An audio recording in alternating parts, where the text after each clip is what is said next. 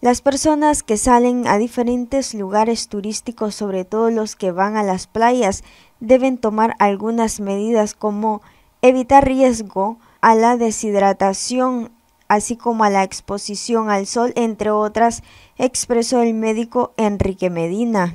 Las personas que van en grupo, que vienen por ejemplo de una comunidad y van a una playa cercana, eh, no tienen por lo general un lugar donde quedarse, están bajo los árboles, eh, a veces tienen que calentar la comida en un, fogón improvisado, eh, y entonces todo eso hace que las condiciones de estancia tengan un poco particulares. Y esto hace que algunas de las personas que van en esas condiciones tengan riesgo. Y los riesgos más importantes son, en primer lugar, la deshidratación, por las razones que mencionamos. No hay una buena sombra, nos descuidamos. Las horas pico, que son de las 10 de la mañana hasta las 4 de la tarde, podríamos prolongarlas, pues son las horas que la gente prefiere pues, para darse un chapuzón. Entonces hay que tener cuidado, mucho cuidado. La exposición al sol eh, en esas condiciones puede provocar quemaduras de primer grado hasta de segundo grado en algunos, en algunos casos.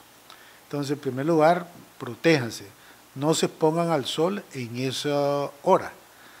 Eh, preferiblemente lleven camisa y si es posible manga larga para protegerse del sol, llevar sombreros de ala ancha, gafas oscura, crema protectora con un índice de alrededor de 50 por lo menos y todo esto hace de que tengamos mejor protección hacia el sol.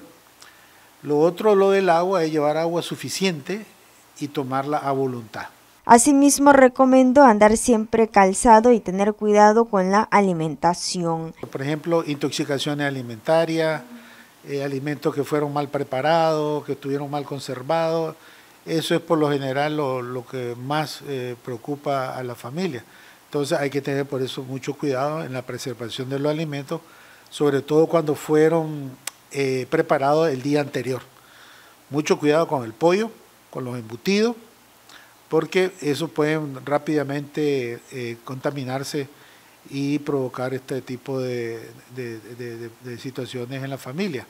Ahora, enfermedades en sí relacionadas con el agua, con la piscina, con el río, pues es un poco más raro. Noticias 12 Darlene Telles.